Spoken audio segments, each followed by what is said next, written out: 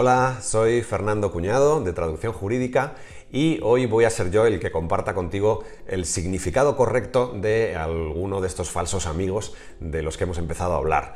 Ah, bueno, ya sabes, lo de falso amigo es una palabra, son dos palabras en dos idiomas, en este caso inglés y español, que aunque se escriben de una forma muy parecida y a veces se pronuncian o tienen una pronunciación parecida también, sin embargo tienen un significado muy, muy diferente en dos idiomas.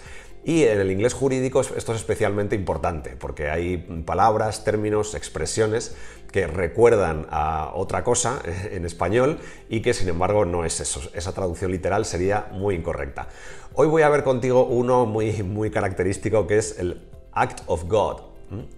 Act of God no es acto de Dios, no, por favor, no lo traduzcas como acto de Dios. Esto es verdad que parece muy obvio que en un texto jurídico no tendría mucho sentido esta traducción, pero eh, debes saber que Act of God es un tecnicismo que tiene otro equivalente en español jurídico, que es el de caso fortuito.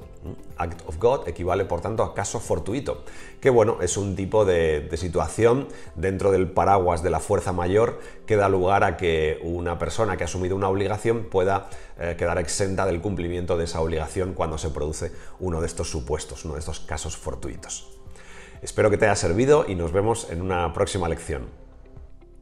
¿Te ha gustado esta lección sobre los falsos amigos del inglés jurídico? Espero que sí y que además te haya servido. Si quieres tener mucha más información sobre esta materia y evitar un montón de palabras complejas que pueden llevarte a una mala traducción, te hemos preparado un recurso gratuito y súper exclusivo y muy muy completo. Una plantilla con 45 falsos amigos del inglés jurídico, eh, con su traducción correcta al español y también con la traducción que debes evitar. Puedes descargarte ya mismo esa plantilla eh, haciendo clic en el enlace que verás aquí abajo. Eh, también te prepararemos dentro del blog un enlace justo debajo y aquí verás impreso la página donde puedes descargarte esa plantilla. Es totalmente gratis, tiene 45 falsos amigos del inglés jurídico y es tuya a partir de ya mismo, cuando quieras. Esperamos que te sirva.